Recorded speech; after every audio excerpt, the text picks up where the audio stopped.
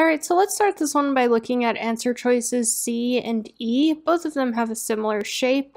We can see that C has this slanted edge and E has this arced cutout. So if we look at our object, first of all, from our front back projection, that's just going to form a rectangle, so that doesn't match up with C or E. So we must be looking at that left-right projection right here.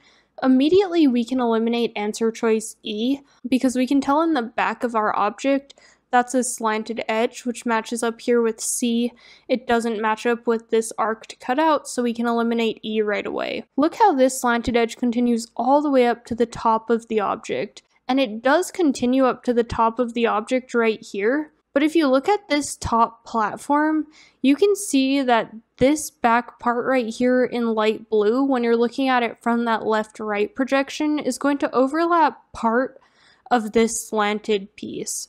So in answer choice C, part of that slanted piece will be overlapped by this rectangular piece behind it, so if we look at our actual left-right projection, you can see how this slanted edge doesn't continue all the way up to the very top of the object, so you can eliminate C.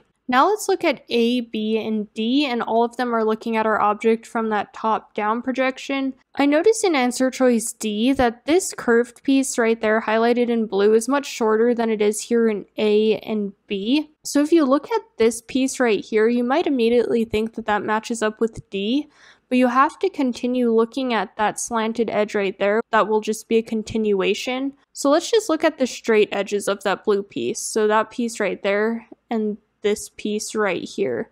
You can see that both of those lengths are longer than these two lengths right here in answer choice D. You can see that that shorter maroon length is about half of that longer maroon length, whereas here in D, this shorter maroon length is only about a third, if not less, than that longer maroon length.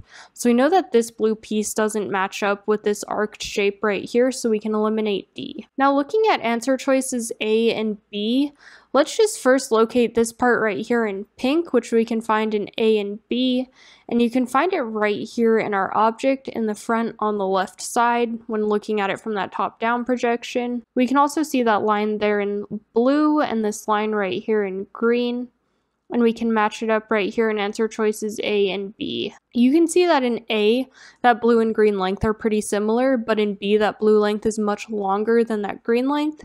So here in our object, that blue and green length are pretty similar, so immediately you know A is correct and B is incorrect. But another thing you can look at is compare that green length to this maroon length right next to it, and they're nearly the same right there in B, whereas here in A, that green length is much longer than the maroon length.